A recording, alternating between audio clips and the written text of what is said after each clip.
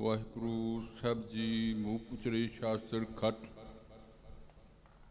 ਪਿੰਗਨ ਚੜ ਜਾਏ, ਅੰਧ ਰਖੈ ਬਦਰੋ ਸੁਨੇ ਜੋ ਕਾਲ ਕਿਰਪਾ ਕਰਾਏ। ਜੋ ਹਮਰੀ ਬਿਦ ਹੋਤੀ ਮੇਰੇ ਸਤਿਗੁਰਾ, ਸਾਬਿਤ ਤੁਮ ਹਰ ਜਾਨੋ ਆਪੇ। ਹਮ ਰੁਲਤੇ ਫਿਰਤੇ ਕੋਈ ਬਾਤ ਨਾ ਪੁੱਛਤਾ। ਗੁਰੂ ਸਤਿਗੁਰੂ ਸੰਗ ਕੀਰੇ ਹਮ ਥਾਪੇ। ਤਨ ਤਨ ਗੁਰੂ ਨਾਨਕ ਜਨ ਕੇਰਾ। ਜਿਤ ਮਿਲਿਆ ਚੁਬਕੇ ਸਭ ਸੋਗ ਸੰਤਾਪੇ। ਤਨ ਤਨ ਗੁਰੂ ਨਾਨਕ ਜਨ ਕੇਰਾ। ਜਿਤ ਮਿਲਿਆ ਚੁਬਕੇ ਸਭ ਸੋਗ ਸੰਤਾਪੇ। ਸਤਿਗੁਰਾਂ ਦੇ ਪਾਵਨ ਪਿੱਤਰ ਦਰਬਾਰ ਅੰਦਰ ਹਾਜ਼ਰੀਨ ਗੁਰੂ ਸਵਾਰੇ ਵਡਭਾਗੀ ਸਤਸੰਗਿਓ ਇਹ ਮਹਾਨ ਪਵਿੱਤਰ ਮੁਕੱਦਸ ਧਰਤੀ, ਜਿਨ੍ਹਾਂ ਜੂਹਾਂ ਤੇ ਮੇਰੀ ਪੀ ਦੇ ਮਾਲਕ ਸਾਹਿਬ ਸ੍ਰੀ ਹਰਗੋਬਿੰਦ ਪਾਤਸ਼ਾਹ ਨੇ ਆਪਣ ਮੁਬਾਰਕ ਚੰਨ ਪਾਏ। ਜਿਸ ਵੇਲੇ ਜ਼ੁਲਮ ਸਿਤਮ ਦੀ ਲਹਿਰ ਪ੍ਰਚੰਡ ਹਿੰਦੁਸਤਾਨ ਤੇ ਜ਼ਬਰਕਾਰੀ ਸੀ, ਉਸ ਵੇਲੇ ਮੇਰੇ ਪਾਤਸ਼ਾਹ ਨੇ ਇਹ ਸੰਸਾਰ ਦੇ ਵਿੱਚ ਮਹਾਨ ਇਨਕਲਾਬ ਲਿਆਉਂਦਿਆਂ ਹੋਇਆਂ ਪੀਰੀ ਦੇ ਨਾਲ ਮੀਰੀ ਨੂੰ ਧਾਰਨ ਕੀਤਾ, ਜਿੱਥੇ ਮਾਲਾ ਸੀ, ਉੱਥੇ ਇੱਕ ਹੱਥ ਵਿੱਚ ਤੇਗ ਫੜੀ ਤਾਂ ਕਿ ਜਾਬਰ ਜ਼ੁਲਮ ਤੋਂ ਬਾਜ ਆ ਸਕੇ। ਸੋ ਆਓ, ਅੱਜ ਦਾ ਮਹਾਨ ਪਵਿੱਤਰ ਸਮਾਗਮ 47ਵਾਂ ਨੀ ਪੱਥਰ ਸਮਾਗਮ ਜਿਸ ਦੇ ਸਬੰਧ ਅੰਦਰ ਕਈ ਦਿਨਾਂ ਤੋਂ ਗੁਰਮਤਿ ਸਮਾਗਮ ਆਰੰਭ ਹਨ। ਤੇ ਅੱਜ ਇਸ ਲੜੀ ਦੇ ਭੋਗ ਉਪਰੰਤ ਗੁਰੂ ਘਰ ਦੇ ਹਜ਼ੂਰੀ ਕੀਰਤਨੀਆਂ ਨੇ ਆਪ ਨੂੰ ਗੁਰਬਾਣੀ ਕੀਰਤਨ ਸਰਵਣ ਕਰਾਇਆ। ਥੋੜਾ ਸਮਾਂ ਗੁਰਮਤਿ ਵਿਚਾਰਾਂ ਦੀ ਸਾਂਝ ਪਾਉਣ ਹਿਤ ਆਪ ਦੀ ਸਮਕਸ਼ ਵਿੱਚ ਹਾਜ਼ਰ ਹੋਇਆ, ਸਭ ਤੋਂ ਪਹਿਲਾਂ ਕਲਗੀਧਰ ਸ਼ਹਿਨशाह ਨੀਲੇ ਦੇ ਸ਼ਾਹ ਸਵਾਰ ਬਾਜਾਂ ਵਾਲੇ ਸਤਿਗੁਰ ਦੀ ਬਖਸ਼ਿਸ਼ ਫਤਿਹ ਦੀ ਸਾਂਝ ਪਾਈਏ। ਆਓ ਆਪਣੀਆਂ ਹਾਜ਼ਰੀਆਂ ਗੁਰੂ ਚਰਨਾਂ ਵਿੱਚ ਲਾਈਏ ਜੀ। ਵਾਹਿਗੁਰੂ ਜੀ ਕਾ ਖਾਲਸਾ, ਵਾਹਿਗੁਰੂ ਜੀ ਕੀ ਫਤਿਹ। ਮੇਰੇ ਪਾਤਸ਼ਾਹ ਜਿਨ੍ਹਾਂ ਨੇ ਕਿਤ ਕਰੋ ਨਾਮ ਜਪੋ, ਵੰਡ ਛਕੋ, ਇਹ ਪੈਗਾਮ ਸੰਸਾਰ ਨੂੰ ਦਿੱਤਾ। ਤੇ ਉਸ ਵੇਲੇ ਸੰਸਾਰ ਤੇ ਸਤਿਗੁਰਾਂ ਦਾ ਆਗਮਨ ਹੋਇਆ। ਜਿਸ ਵਕਤ ਹਿੰਦੁਸਤਾਨ ਦੀ ਧਰਤੀ ਤੇ ਜ਼ਬਰ ਜ਼ੁਲਮ ਜੋਰਾਂ ਤੇ ਸੀ, ਜਿੱਥੇ ਪਾਤਸ਼ਾਹ ਨੇ ਸੰਸਾਰ ਦੇ ਲੋਕਾਂ ਨੂੰ ਭਗਤੀ ਵੱਲ ਪ੍ਰੇਰਿਤ ਕੀਤਾ ਤੇ ਤੇਗ ਬਹਾਦਰ ਸਾਹਿਬ ਜੀ ਦੇ ਬਲਿਦਾਨ ਉਪਰੰਤ ਮੇਰੇ ਪਾਤਸ਼ਾਹ ਕਲਗੀਆਂ ਵਾਲੇ ਨੇ ਇੱਕ ਐਸੀ ਕੌਮ ਸਾਜੀ ਜਿਸ ਨੂੰ ਆਪਣਾ ਰੂਪ ਦੇ ਦਿੱਤਾ ਤੇ ਮੇਰੇ ਪਾਤਸ਼ਾਹ ਨੇ ਸੰਸਾਰ ਦੇ ਲੋਕਾਂ ਨੂੰ ਇਹ ਗੱਲ ਸਮਝਾਈ, ਮੈਂ ਜੋ ਇਹ ਸਾਜਨਾ ਕੀਤੀ ਹੈ, ਇਹ ਅਕਾਲ ਪੁਰਖ ਦੀ ਫੌਜ ਹੈ। ਤੇ ਅਕਾਲ ਪੁਰਖ ਨਹੀਂ, ਆਪਣੀ ਮੌਜ ਵਿੱਚ ਇਸ ਨੂੰ ਸਾਜਿਆ ਖਾਲਸਾ ਅਕਾਲ ਪੁਰਖ ਕੀ ਫੌਜ, ਪਰਗਟਿਓ ਖਾਲਸਾ ਪਰਮਾਤਮ ਕੀ ਮੌਜ। ਤੇ ਫਿਰ ਇਹ ਗੱਲ ਵੀ ਮੇਰੇ ਕਲੀਆਂ ਵਾਲੇ ਨੇ ਕਹਿ ਦਿੱਤੀ, ਇਹ ਮੇਰਾ ਰੂਪ ਹੈ। ਤੇ ਮੈਂ ਸਦਾ ਇਹਨਾਂ ਵਿੱਚ ਵਸਾਂਗਾ। ਖਾਲਸਾ ਮੇਰੋ ਰੂਪ ਹੈ ਖਾਸ, ਹੂੰ ਖਾਲਸੇ ਮੈਂ ਕਰੋ ਨਿਵਾਸ। ਜਿੱਥੇ ਭਗਤੀ ਸਿਮਰਨ ਜ਼ਰੂਰੀ ਸੀ, ਉੱਥੇ ਸਵੈ ਰੱਖਿਆ ਵਾਸਤੇ ਤਾਕਤ ਦਾ ਹੋਣਾ, ਸ਼ਸਤਰ ਹੋਣਾ ਵੀ ਅਤ ਜ਼ਰੂਰੀ ਸੀ। ਇਸ ਕਰਕੇ ਮੇਰੇ ਪਾਲਸਾ ਨੇ ਜ਼ੁਲਮ ਦੇ ਬਰਖਲਾਫ ਖਾਲਸੇ ਦੀ ਸਾਜਨਾ ਕੀਤੀ ਤੇ ਹਦਾਇਤ ਇਹ ਵੀ ਕੀਤੀ ਸਦਾ ਵਿਪਰਮ ਨਰਿਤਾਂ ਦਾ ਤਿਆਗ ਕਰਕੇ ਪਰਮਾਤਮਾ ਦੀ ਬੰਦਗੀ ਵਿੱਚ ਜੁੜੇ ਰਹਿਣਾ ਤੇ ਹਰ ਸਖਤ ਦੀ ਖਾਤਰ ਰੰਤਰ ਦੇ ਅੰਦਰ ਜੂਝ ਮਿਲਣਾ, ਇਹ ਮੇਰੇ ਪਾਤਸ਼ਾਹ ਨੇ ਖਾਲਸਾ ਪੰਥ ਦੇ ਵਿੱਚ ਇੱਕ ਨਵੀਂ ਲੀਹ ਤੋੜਦਿਆਂ ਹੋਇਆਂ ਹਜੂਰ ਪਾਤਸ਼ਾਹ ਨੇ ਇਹ ਪੈਗਾਮ ਸਾਨੂੰ ਬਖਸ਼ਿਸ਼ ਕੀਤਾ। ਆਪ ਸ਼ਬਦ ਸਰਵਣ ਕਾਰੇ ਸੋ। ਜਿਸ ਜ਼ਿਕਰ ਆਇਆ ਸੀ, ਜਿਹੜਾ ਹਰਨਾਕਸ਼ ਦੈਂਤ ਆਪਣੇ ਬੇਟੇ ਪ੍ਰਲਾਦ ਦਾ ਕਤਲ ਕਰਨ ਵਾਸਤੇ ਤੁਰਿਆ ਅਤੇ ਜਿਸ ਨੇ ਇਹ ਜ਼ੁਲਮ ਕੀਤਾ ਤੇ ਆਪਣੇ ਆਪ ਨੂੰ ਰੱਬ ਮੰਨਣਾ ਅਤੇ ਹੋਰਨਾਂ ਨੂੰ ਆਪਣੇ ਆਪ ਨੂੰ ਰੱਬ ਕਹਿਣ ਵਾਸਤੇ ਮਜਬੂਰ ਕਰਨਾ, ਇਸ ਪਾਵਨ ਸ਼ਬਦ ਵਿੱਚ ਉਹ ਜ਼ਿਕਰ ਆਇਆ। ਬਾਣੀ ਅੰਦਰ ਭਗਤ ਕਬੀਰ ਜੀ ਤੇ ਸਵਾਲ ਹੋਇਆ, ਭਗਤੀ ਕਿਵੇਂ ਕਰੀਏ? ਤੇ ਜਵਾਬ ਦਿੱਤਾ ਭਗਤ ਕਬੀਰ ਜੀ ਨੇ RAM ਜਪੋ ਜੀ ਐਸੇ ਐਸੇ। ਹਾਂਜੀ, ਕਿਵੇਂ ਜਪੀਏ? ਤਰੂ ਪ੍ਰਲਾਦ ਜਪਿਓ ਹਰ ਜੈਸੇ। ਕਹਿੰਦੇ ਨੇ, ਜਿਵੇਂ ਧਰੂ ਭਗਤ ਨੇ ਪ੍ਰਲਾਦ ਨੇ ਨਾਮ ਜਪਿਆ, ਇਸ ਤਰ੍ਹਾਂ ਹਰ ਪ੍ਰਾਣੀ ਨੂੰ ਨਾਮ ਜਪਣਾ ਚਾਹੀਦਾ ਤੇ ਨਾਮ ਦੀ ਬਹੁਤ ਵੱਡੀ ਮਹਾਨਤਾ ਹੈ। ਜਿਹੜੇ ਨਾਮ ਰਸੀ ਹਨ, ਕਰਤਾ ਪੁਰਖ ਦੀ ਤਾਕਤ ਉਹਨਾਂ ਵਿੱਚ ਹਮੇਸ਼ਾ ਹੁੰਦੀ ਹੈ ਤੇ ਉਹ ਕਦੀ ਕਿਸੇ ਦਾ ਡਰ ਨਾ ਮੰਨਦੇ ਹਨ ਤੇ ਨਾ ਡਰ ਕਿਸੇ ਨੂੰ ਦਿੰਦੇ ਹਨ। ਭੈ ਕਾਹੂ ਕੋ ਦਿਤ ਨਾ ਨਾ ਪੈ ਮਾਨ ਤੇ ਆਨ। ਇਹ ਮਹਾਨ ਤਾਕਤ, ਇਹ ਮਹਾਨ ਔਜ ਕਰਤਾ ਪੁਰਖ ਉਹਨਾਂ ਵਿੱਚ ਬਖਸ਼ਦਾ ਜੋ ਪ੍ਰਮਾਤਮਾ ਦੀ ਇਬਾਦਤ ਕਰਦੇ, ਬੰਦਗੀ ਕਰਦੇ ਭਗਤ ਪ੍ਰਲਾਦ ਤੇ ਅਤਿਆਚਾਰ ਹੋਏ, ਇਥੋਂ ਤੱਕ ਬਾਪ ਕਤਲ ਕਰਨ ਵਾਸਤੇ ਕੋਠੇ ਵਿੱਚ ਬੰਦ ਕਰ ਦਿੱਤਾ। ਜ਼ਿਕਰ ਆਇਆ ਗੁਰਬਾਣੀ ਵਿੱਚ ਪ੍ਰਲਾਦ ਕੋਠੇ ਵਿੱਚ ਰੱਖਿਆ ਬਾਹਰ ਦੀਆ ਤਾਲਾ। ਫਿਰ ਵੀ ਉਹ ਬੱਚਾ ਪ੍ਰਲਾਦ 5 ਸਾਲ ਦੀ ਉਮਰ ਹੈ ਭੈ ਨਹੀਂ ਖਾਦਾ। ਤੇ ਇਥੋਂ ਤੱਕ ਕਹਿਣ ਲੱਗਾ, ਇਸ ਤਪ ਦੇ ਥੰਭ ਵਿੱਚ ਰੱਬ ਆਪ ਵਸ ਰਿਹਾ ਹੈ।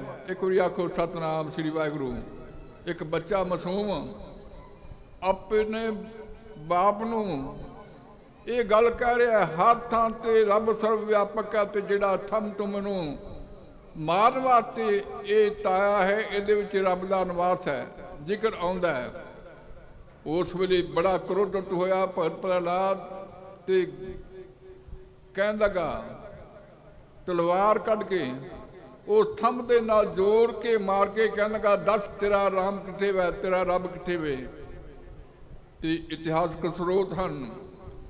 ਇਸ ਤਲਵਾਰ ਜਿਉਂ ਹੀ ਥੰਮ ਤੇ ਨਾਲ ਲੱਗੀ ਤੇ ਕਰਤਾ ਪੁਰਖ ਪ੍ਰਗਟ ਹੋਇਆ ਕਿਉਂਕਿ ਉਸ ਵੇਲੇ ਇਹਦੇ ਸਿਰ ਤੇ ਖੂਨ ਸਵਾਰ ਸੀ, ਆਪਣੇ ਬਚਲ ਤੇ ਰੱਬ ਦੇ ਭਗਤ ਪ੍ਰਹਲਾਦ ਦਾ ਕਤਲ ਕਰਨਾ ਚਾਹੁੰਦਾ ਸੀ। ਤੇ ਉਸ ਵੇਲੇ ਨਰਸਿੰਘ ਦੇ ਰੂਪ ਵਿੱਚ ਪ੍ਰਗਟ ਹੋ ਕੇ ਆਪਣੇ ਸੇਵਕ ਦੀ ਆਪ ਰੱਖਿਆ ਕੀਤੀ ਤੇ ਭਾਈ ਸਾਹਿਬ, ਭਾਈ ਗੁਰਦਾਸ ਜੀ ਕਹਿੰਦੇ ਨੇ ਇੱਕ ਦੈਂਤਾਂ ਦੀ ਕੁੱਲ ਵਿੱਚ ਕਰਤਾ ਪੁਰਖ ਵਾਹਿਗੁਰੂ ਨੇ। ਜਿਵੇਂ ਕਲਰ ਦੇ ਵਿੱਚ ਕਮਲ ਫੁੱਲ ਪੈਦਾ ਕਰ ਦਿੱਤਾ, ਇਸ ਤਰ੍ਹਾਂ ਹੀ ਕਲਰ ਵਿੱਚ ਕੋਈ ਬੀਜ ਨਹੀਂ ਉਗਦਾ। ਪਰ ਇਉਂ ਜਾਣੋ, ਇਹਨਾਂ ਦੈਂਤਾਂ ਦੀ ਕੁੱਲ ਦੇ ਵਿੱਚ ਰੱਬ ਦਾ ਭਗਤ ਨਿਰੰਕਾਰ ਨੇ ਪੈਦਾ ਕੀਤਾ। ਤੇ ਦੂਸਰੀ ਗੱਲ ਕੀਤੀ ਕਬੀਰ ਜੀ ਨੇ, ਕਹਿੰਦੇ ਨੇ ਜਿਵੇਂ ਪ੍ਰਲਾਦ ਨੇ ਰੱਬ ਨੂੰ ਜਪਿਆ ਹੈ, ਇਤਨਾ ਜ਼ੁਲਮ ਵੀ ਚੱਲਿਆ ਪਰ ਪ੍ਰਮਾਤਮਾ ਦਾ ਨਾਂ ਨਹੀਂ ਛੱਡਿਆ। ਦੂਸਰੀ ਗੱਲ ਕੀਤੀ ਹੈ ਧਰੂ ਭਗਤ ਦੀ। ਧਰੂ ਭਗਤ ਬੱਚਾ ਹੈ। ਮਾਸੂਮ ਬੱਚਾ 5 ਸਾਲ ਦੀ ਉਮਰ ਜ਼ਿਕਰ ਆਉਂਦਾ ਹੈ। ਕਹਿੰਦੇ ਨੇ, ਖੇਡਦਾ ਖੇਡਦਾ ਰਾਜ ਮਹਿਲਾਂ ਵਿੱਚ ਪਹੁੰਚਿਆ। ਅੱਗੇ ਬਾਪ ਬੈਠਾ ਸੀ, ਬਾਪ ਦੀ ਗੋਦ ਵਿੱਚ ਜਾ ਬੈਠਾ ਤੇ ਕੋਲ ਬੈਠੀ ਸੀ ਰਾਣੀ। ਇਹ ਮਤਰਈ ਮਾਂ ਨੇ ਜਦੋਂ ਭਗਤ ਤਰੋੜ ਨੂੰ ਬਾਪ ਦੀ ਗੋਦ ਵਿੱਚ ਬੈਠਾ ਵੇਖਿਆ ਤੇ ਗੁੱਸਾ ਚੜਿਆ, ਕਹਿੰਦਾ, ਅੱਜ ਗੋਦ ਵਿੱਚ ਬੈਠਾ ਕੱਲ ਨੂੰ ਰਾਜ ਗੱਦੀ ਤੇ ਵੀ ਬੈਠੇਗਾ। ਈਰਖਾ ਦੀ ਅਗ ਦੇ ਵਿੱਚ ਸੜੀ ਹੋਈ ਇਸ ਰਾਣੀ ਨੇ ਮੌਸੂਮ ਬੱਚੇ ਨੂੰ ਬਾਹੋਂ ਪਕੜ ਕੇ ਬਾਪ ਦੀ ਗੋਦ 'ਚ ਉਠਾ ਕੇ ਧੱਕੇ ਮਾਰ ਕੇ ਬਾਹਰ ਕੱਢ ਦਿੱਤਾ। ਜ਼ਿਕਰ ਆਉਂਦਾ ਹੈ ਮਾਂ ਦੇ ਐਸੇ ਵਿਹਾਰ ਤੋਂ ਪਰੇਸ਼ਾਨ ਹੋਇਆ, ਇਹ ਧਰੂ ਆਪਣੀ ਸੱਕੀ ਮਾਂ ਕੋਲ ਪਹੁੰਚਾ। ਜਦੋਂ ਮਾਂ ਕੋਲ ਪਹੁੰਚਾ ਤੇ ਸਵਾਲ ਕੀਤਾ, ਮਾਂ, ਮੈਨੂੰ ਇਹ ਗੱਲ ਸਮਝਾ, ਤੂੰ ਰਾਣੀ ਹੈ ਕਿ ਗੋਲੀ ਹੈ? ਬੇਟਾ, ਕੀ ਗੱਲ? ਅੱਜ ਮਤਰਈ ਮਾਂ ਨੇ ਬਾਪ ਦੀ ਗੋਦ ਵਿੱਚੋਂ ਮੈਨੂੰ ਧੱਕੇ ਮਾਰ ਕੇ ਉਠਾਲ ਕੇ ਕੱਢ ਦਿੱਤਾ ਇਹਦਾ ਕਾਰਨ ਕੀ ਹੈ? ਤੇ ਜ਼ਿਕਰ ਆਉਂਦਾ ਭਾਈ ਸਾਹਿਬ, ਭਾਈ ਗੁਰਦਾਸ ਜੀ ਇਸ ਬਾਬਤ, ਇਸ ਘਟਨਾ ਦਾ ਜ਼ਿਕਰ ਕਰਦੇ ਨੇ ਆਪਣੀ ਕਲਮ ਦੇ ਨਾਲ। ਤਰੂ ਹੱਸਦਾ ਕਰ ਆਇਆ, ਹੱਸਦਾ ਹੱਸਦਾ ਕਰ ਆਇਆ, ਇਹ ਬੱਚਾ ਤਰੂ ਬੱਚੇ ਦੇ ਮਨ ਵਿੱਚ ਕੋਈ ਵੈਰ ਭਾਵਨਾ ਨਹੀਂ ਹੁੰਦੀ। ਸੋ ਇਹ ਮਾਸੂਮ ਬੱਚਾ ਤਰੂ ਆਪਣੇ ਬਾਪ ਦੀ ਗੋਦ 'ਚ ਜਾ ਬੈਠਾ ਤੇ ਭਾਈ ਸਾਹਿਬ, ਭਾਈ ਗੁਰਦਾਸ ਜੀ ਜ਼ਿਕਰ ਕਰਦੇ ਨੇ। ਤਰੂ ਹੱਸਦਾ ਕਰ ਆਇਆ, ਕਰ ਪਿਆਰ ਪਿਓ ਕੁਛਲ ਲਿੱਤਾ। ਬੜੇ ਪਿਆਰ ਦੇ ਨਾਲ ਬਾਪੂ ਨੇ ਆਪਣੀ ਗੋਲ ਵਿੱਚ ਬਿਠਾ ਲਿਆ। ਕਰ ਪਿਆਰ ਪਿਓ ਕੁਛਲ ਲੀਤਾ, ਬਾਹੋਂ ਪਕੜ ਉਠਾ ਲਿਆ, ਮਨ ਚ ਰੋਸ ਮਤਰਈ ਕੀਤਾ। ਬੜੇ ਗੁੱਸੇ ਦੇ ਨਾਲ ਬਾਹੋਂ ਪਕੜਿਆ ਤੇ ਧੱਕੇ ਮਾਰ ਕੇ ਰੋਸ ਕਰਦਿਆਂ ਹੋਇਆਂ ਬੱਚੇ ਨੂੰ ਬਾਹਰ ਕੱਢ ਦਿੱਤਾ, ਕਿਉਂਕਿ ਇਹ ਚਾਹੁੰਦੀ ਸੀ ਮੇਰਾ ਬੇਟਾ ਹੀ ਰਾਜ ਤਖਤ ਦਾ ਵਾਰਸ ਬਣੇ। ਜੇ ਅੱਜ ਬਾਪੂ ਦੇ ਨਾਲ ਐਸਾ ਮੋਹ ਬਣਿਆ ਤੇ ਕੱਲ ਨੂੰ ਰਾਜ ਭਾਗ ਦਾ ਇਹ ਹਿੱਸੇਦਾਰ ਬਣੇਗਾ। ਬਾਹੋਂ ਪਕੜ ਉਠਾ ਲਿਆ, ਮਨ ਚਰੋਸ ਰੋਸ ਕੀਤਾ, ਡੱਡੋ ਲਿਕਾ ਮੱਪ ਤੇ ਤੂੰ ਸੁਆਣੀ ਹੈ ਕਿ ਸਰੀਤਾ? ਹੈਰਾਨ ਹੋਇਆ ਮਨ ਪੁੱਛਦਾ, ਦਸ ਤੂੰ ਗੋਲੀ ਹੈ ਕਿ ਰਾਣੀ? ਉਸ ਵੇਲੇ ਰਾਣੀ ਨੇ ਇਹ ਬਚਨ ਕੀਤਾ, ਬੇਟਾ ਹੈ ਤਾਂ ਮੈਂ ਰਾਣੀ, ਫਿਰ ਕੀ ਕਾਰਨ? ਜੋ ਕਾਰਨ ਦੱਸਿਆ, ਉਹ ਕਾਰਨ ਗੁਰੂ ਸਾਹਿਬ ਦੱਸਦੇ ਨੇ। ਕਹਿੰਦੇ ਨੇ, ਉਹ ਹੈ ਭਗਤੀ ਸਿਮਰਨ, ਪਰਮਾਤਮਾ ਦੀ ਇਬਾਦਤ। ਸੁਆਣੀ ਹੈ ਮੈਂ ਜਨਮ ਦੀ ਨਾਮ ਨਾ ਭਗਤੀ ਕਰਨ ਦਿੱਤਾ। ਕਿਸ ਉਦਮ ਤੇ ਰਾਜ ਮਿਲੇ, ਛਤਰੋ ਤੇ ਸਭ ਹੋਮਨ ਮੀਤਾ। ਹੇ ਮਾਂ, ਮੈਨੂੰ ਦੱਸ ਕਿਹੜਾ ਉਦਮ ਕੀਤਾ ਜਾਵੇ, ਜਿਹੜੇ ਰਾਜ ਦੀ ਪ੍ਰਾਪਤੀ ਹੋਵੇ ਤੇ ਇਹ ਵੈਰੀ ਜਿਹੜੇ ਨੇ ਉਹ ਮਿੱਤਰ ਬਣ ਜਾਣ। ਤੇ ਉਸ ਵੇਲੇ ਪਰਮਾਤਮਾ ਦੀ ਇਬਾਦਤ ਵਾਸਤੇ ਪ੍ਰੇਰਿਤ ਹੋਇਆ ਜਗਲਾ ਨੂੰ ਭਗਤੀ ਕਰਨ ਵਾਸਤੇ ਇਹ ਬੱਚਾ ਚੱਲਿਆ। ਤੇ ਭਗਤ ਕਬੀਰ ਜੀ ਮਹਾਨ ਭਗਤ, ਇਹ ਗੱਲ ਦਰਸਾਉਂਦੇ ਨੇ, ਇਹ ਗੱਲ ਸਾਡੇ ਸਾਹਮਣੇ ਰੱਖਦੇ ਨੇ, ਨਾਮ ਜਪਣਾ ਹੈ। ਜਿਨ੍ਹਾਂ ਨੇ ਜਪਣਾ 5 ਸਾਲ ਦੀ ਉਮਰ ਵਿੱਚ ਪ੍ਰਮਾਤਮਾ ਨਾਲ ਲਿਵ ਲੱਗੀ ਤੇ 5 ਸਾਲ ਦੀ ਉਮਰ ਦੇ ਵਿੱਚ ਹੀ ਪਰਮਾਤਮਾ ਦੀ ਸਿਮਰਨ ਵਿੱਚ ਇਬਾਦਤ ਕਰਕੇ ਅੱਜ ਸੰਸਾਰ ਤੇ ਉਹਨਾਂ ਦਾ ਨਾਮ ਅਸੀਂ ਲੈ ਰਹੇ ਹਾਂ। ਰਾਮ ਜਪੋ ਜੀ, ਐਸੇ ਐਸੇ ਤਰੂ ਪ੍ਰਲਾਦ ਜਪਿਓ ਹਰ ਜੈਸੇ, ਦੀਨ ਦਿਆਲ ਭਰੋਸੇ ਤੇਰੇ ਸਭ ਪਰਿਵਾਰ ਚੜਾਇਓ ਬੇੜੇ ਸੋ ਗੁਰੂ ਕਿਰਪਾ ਕਰੇ ਇਹ ਅਸਥਾਨ ਇਸ ਕਰਕੇ ਬਣਾਏ ਜਾਂਦੇ ਹਨ। ਪਰਮਾਤਮਾ ਦੀ ਬੰਦਗੀ ਸਿਮਰਨ ਤੇ ਉਹਨਾਂ ਦੀ ਯਾਦ, ਰੱਬ ਦੀ ਯਾਦ ਮਿਲ ਬੈਠ ਕੇ ਸੰਗਤ ਵਿੱਚ ਕਰ ਸਕੀਏ। ਗੁਰੂ ਨਾਨਕ ਸਾਹਿਬ ਜੀ ਜਿਸ ਥਾਂ ਤੇ ਜਾਂਦੇ, ਉਪਦੇਸ਼ ਦਿੰਦੇ ਤੇ ਕਹਿੰਦੇ ਨੇ ਧਰਮਸਾਲ ਬਣਾਓ, ਪਰਮਾਤਮਾ ਦੀ ਯਾਦ ਸਿਮਰਨ ਕਰੋ।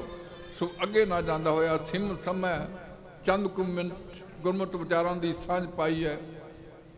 ਸੋ ਗੁਰੂ ਮਹਾਰਾਜ ਨੇ ਮਹਾਨ ਕਿਰਪਾਲਤਾ ਕੀਤੀ। ਇਹ ਅਸਥਾਨ ਬਖਸ਼ਿਸ਼ ਕੀਤਾ, ਜੋ ਇਲਾਕੇ ਦਾ ਕੇਂਦਰੀ ਸਥਾਨ ਹੈ। ਦਿਨ ਰਾਤ ਗੁਰਬਾਣੀ ਦੇ ਪ੍ਰਵਾਹ ਚੱਲਦੇ ਤੇ ਅੱਜ ਦਾ ਦਿਨ, ਉਹ ਦਿਨ ਜਿਸ ਦਿਨ ਮਹਾਂਪੁਰਸ਼ਾਂ ਨੇ ਇਸ ਸਥਾਨ ਦਾ ਸਿਲਾ, ਨਿਆਸ, ਨੀਂਹ ਪੱਥਰ ਰੱਖ ਕੇ ਇਹ ਅਸਥਾਨ ਨੂੰ ਪ੍ਰਗਟ ਕੀਤਾ। ਸੋ ਸ੍ਰੀ ਮਾਨਸਵਾਟ ਸੰਤ ਬਾਬਾ ਅਜੀਤ ਸਿੰਘ ਜੀ ਨਿਰਮਲੇ ਮਹਾਂਪੁਰਖ ਜਿਹੜੇ ਨੇ ਉਹ ਛੇਤੀ ਪਹੁੰਚ ਰਹੇ ਹਨ। ਗੁਰੂ ਘਰ ਦੇ ਕੀਰਤਨੀਏ ਆਪ ਨੂੰ ਉਲਾਈ ਬਿਉਣੀ ਦਾ ਕੀਰਤਨ ਸ਼ਰਮਨ ਕਰਾ ਰਹੇ ਹਨ। ਸੋ ਆਓ, ਸਭ ਤੋਂ ਪਹਿਲਾਂ ਜਿਨ੍ਹਾਂ ਨੇ ਸ੍ਰੀ ਅਖੰਡ ਪਾਠਾਂ ਦੀ ਸੇਵਾ ਕੀਤੀ ਹੈ, ਭਾਈ ਸਾਹਿਬ, ਭਾਈ ਅਮਰੀਕ ਸਿੰਘ ਜੀ ਥੋੜਾ ਜਿਹਾ ਸਮਾਂ ਉਹ ਲਾਉਣਗੇ, ਫਿਰ ਮਹਾਂਪੁਰਸ਼ਾਂ ਦੇ ਕੀਰਤਨੀ ਜਥੇ ਆਪ ਨੂੰ ਇਲਾਜ ਬਾਣੀ ਕੀਰਤਨ ਦੇ ਨਾਲ ਜੋੜਨਗੇ। ਸੋ ਜ਼ਿਆਦਾ ਸਮਾਂ ਨਾ ਲੈਂਦਾ ਹੋਇਆ, ਸੰਕੇਤਕ ਚਾਰ ਕੁ ਅੱਖਰ ਆਪ ਨਾਲ ਸਾਂਝੇ ਕੀਤੇ।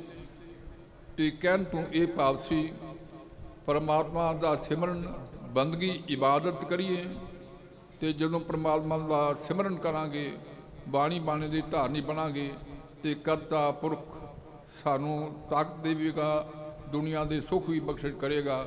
ਕਲਗੀਆਂ ਵਾਲੇ ਸਾਹਿਬ ਨੇ ਸਾਡੇ ਤੇ ਮਹਾਨ ਕਿਰਪਾਲਤਾ ਕੀਤੀ ਹੈ। ਸਾਨੂੰ ਖੰਡੇ ਬਾਟੇ ਦੀ ਪੌਲ ਦੇ ਕੇ ਮਹਾਨ ਜੀਵਨ ਦਾਨ ਬਖਸ਼ਿਸ਼ ਕੀਤਾ ਹੈ।